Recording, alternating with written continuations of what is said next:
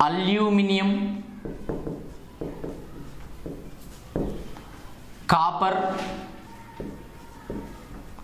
zinc and iron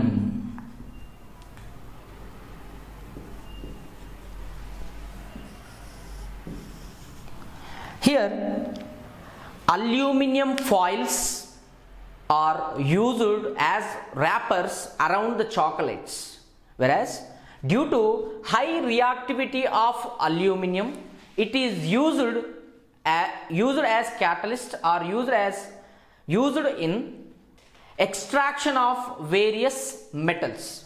Similarly due to uh, toughness of aluminium the aluminium wires or cables are used as conductors.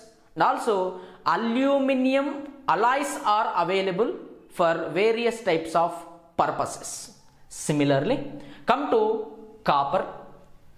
Copper is a metal used or copper wires are used as conductors.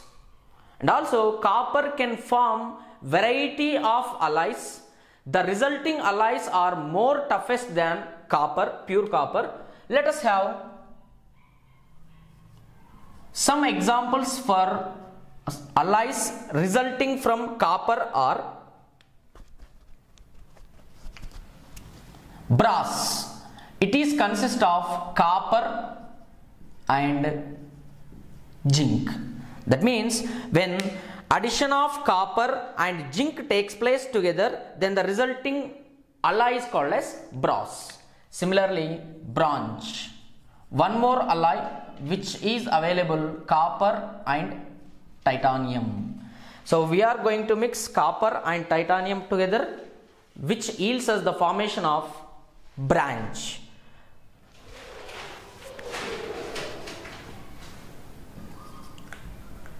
Copper and tin whereas coinage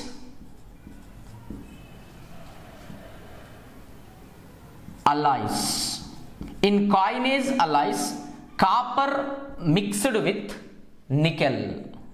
Copper mixed with nickel. Similarly copper metal is used for the preparation of pipes hot air and hot water pipes. This is the applications or use of copper some uses of copper.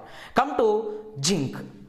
Actually zinc is used as galvanizing agent it is also useful for the preparation of various types of alloys like brass. In brass nearly 40 percentage of zinc present and 60 percentage of copper present. Whereas one more alloy the most important alloy executed by zinc is german silver. German silver in which zinc nickel and copper are present in different ratios. So similarly the zinc dust is used as reducing agent. And come to iron. Here the various forms of iron studied by us recently. Among them the most important one is cast iron the cast iron is useful for the making of stoves railways in the application of railways sleepers and etc and next wrought iron is also avail- available cast iron and wrought iron. So this will have industrially important for making various types of instruments. That is for the manufacturing of cycles uh, ships aeroplane parts etc. We have to use wrought iron. So these are some importance of aluminium copper zinc and iron. And one more the iron instruments or iron materials are used regularly in our life used by us regularly. Here the most important alloy expected from iron is steel and stainless steel So these steel and stainless steel utensils are used in our homes.